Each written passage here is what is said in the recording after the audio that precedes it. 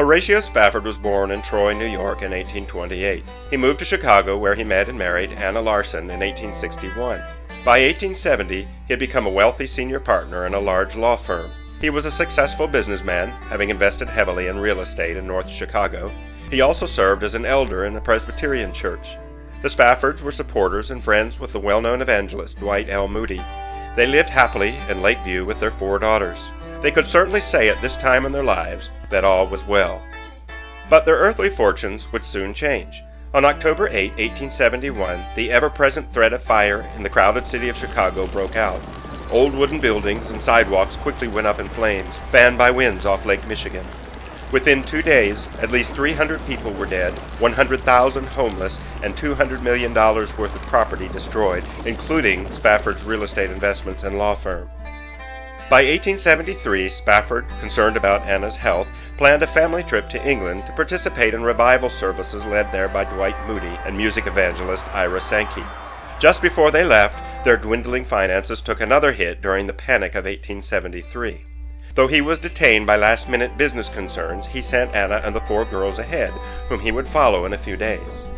Spafford booked passage for his wife, 11 year old Anna, 9 year old Maggie Lee, 5 year old Elizabeth, and 2 year old Tanetta, who joined 308 other passengers aboard the French steamship Ville du Havre in New York. They set sail on November 15, 1873. About one week into the crossing, at 2 a.m. on November 22nd, the Ville du Havre collided with the iron-hulled Scottish ship the Loch Earn. The Loch Earn rang the ship's bell and ported its helm, while the Ville du Havre put to starboard, but it was too late. The Ville du Havre was nearly broken in two. Anna hurried her daughters from their berths to the deck, where all was chaos. Having been told that the ship would soon sink, there she knelt down and prayed that God would either save them or make them willing to die. The Ville du Havre sank into the cold, murky waters of the Atlantic in only 12 minutes. 226 souls were lost. While rowing a small boat, a sailor spotted a woman clinging to a piece of the wreckage. It was Anna, still alive, but all four of her daughters had drowned. Another vessel landed them in Cardiff, Wales, nine days later. There she cabled her husband the famed message that began, Saved alone, what shall I do? One of the ship's survivors later recalled Anna saying, God gave me four daughters. Now they have been taken from me. Someday I will understand why. Horatio immediately left Chicago for Liverpool. As he crossed the Atlantic, the captain called Horatio to his cabin to say that, by his best reckoning, they were passing over the spot where his daughters perished. He wrote to his wife's half sister, On Thursday last we passed over the spot where she went down, in mid ocean, the waters three miles deep. But I do not think of our dear ones there. They are safe folded, the dear lambs. Ira Sankey said that Dwight Moody left his meetings in Edinburgh and went to Liverpool to comfort the bereaved parents, and was pleased to find that they were able to say, It is well, the will of God be done. The Spaffords returned to Chicago, where in 1876 they entertained Ira Sankey in their home for several weeks. According to Sankey, that is when Horatio penned the words of the hymn, It is Well with My Soul, in commemoration of the death of his children. Sankey stated that the comforting fact in connection with this incident was that in one of our small meetings in North Chicago a short time prior to their sailing for Europe, the children had been converted. As heartrending as their losses were, these events were not the end of the Spafford sorrows. In 1875, they were blessed with the birth of a son, Horatio Gates Spafford II but before he turned five, their son died of scarlet fever. However, in 1878 and 1881, respectively, daughters Bertha and Grace were born. In what is perhaps the most tragic part of the story, Spafford began to drift away from evangelical truth and adopt unusual notions and questionable business practices. He became obsessed with date setting for the Second Coming, a supposed golden earthly age of a thousand years, messages and visitations from God, a denial of hell, false prophecies, and many other rather extreme practices. With growing opposition, Spafford and some of his followers found it expedient to leave the country. In August of 1881, this messianic sect left for Jerusalem, where they established the American colony and lived communally to wait for the Second Coming. Near the end, Spafford even imagined himself to be the Messiah, though this was likely the result of delirium from malaria. On October 16, 1888, Horatio Spafford died of malaria. Anna Spafford passed away many years later in 1923. But the tragedies surrounding this hymn did not begin and end with the sinking of a ship. Spafford penned the famous words of the hymn, but Philip P. Bliss composed the tune, which he dubbed Ville du Havre, after the ship that took the Spafford's daughters. The complete hymn was published by Bliss and Sankey in 1876. It was first sung by Bliss himself before a large gathering of ministers hosted by Moody on November 24, 1876. After Christmas, only one month later, Bliss wired D.L. Moody that he, his wife Lucy, and his two sons, Paul and George, would soon be arriving in Chicago.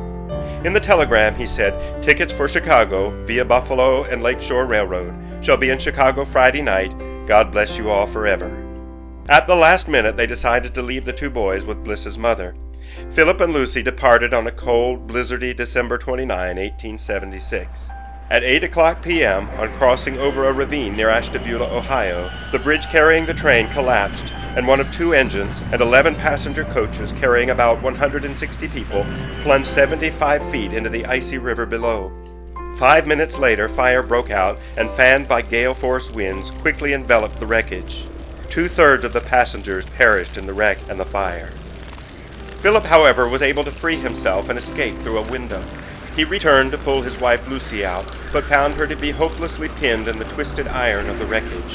When he found that he could not save her, he bravely remained at her side until both were consumed by the flames. In 1877, an eyewitness wrote, He would not escape by deserting his noble wife, and they went home together in a baptism of fire.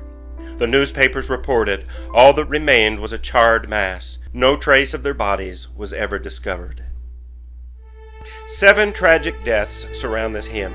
For some, the circumstances of life and death could not touch their souls. For others, the thorns of affliction grew and choked.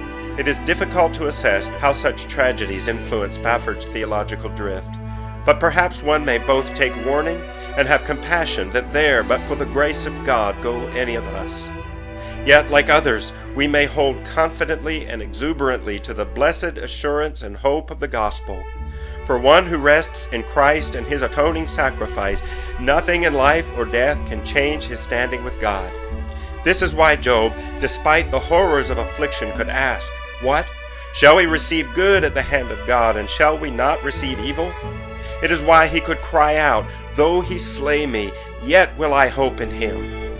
This is why Paul could declare, For to me to live is Christ, and to die is gain. And this is why he could say, But whatever gain I had, I counted as loss for the sake of Christ. Indeed, I count everything as loss because of the surpassing worth of knowing Christ Jesus my Lord. For his sake I have suffered the loss of all things and count them as rubbish, in order that I may gain Christ and be found in him, not having a righteousness of my own that comes from the law, but that which comes through faith in Christ, the righteousness from God that depends on faith that I may know him and the power of his resurrection, and may share his sufferings, becoming like him in his death, that by any means possible I may attain the resurrection from the dead. This is why Jesus said, For whoever would save his life will lose it. But whoever loses his life for my sake and the gospel's will save it. For what does it profit a man to gain the whole world and forfeit his soul? And this is why, if we were to take all the losses we experience in life and add them to the loss of death, they would never add up to the gain we have in Christ. And so, when sorrows billow over us and threaten to sink us, we may confidently sing, My sin, oh the bliss of this glorious thought, my sin, not in part but the whole, is nailed to the cross, and I bear it no more. Praise the Lord, praise the Lord, O my soul. And so, whatever my lot, thou hast taught me to say, It is well, it is well with my soul.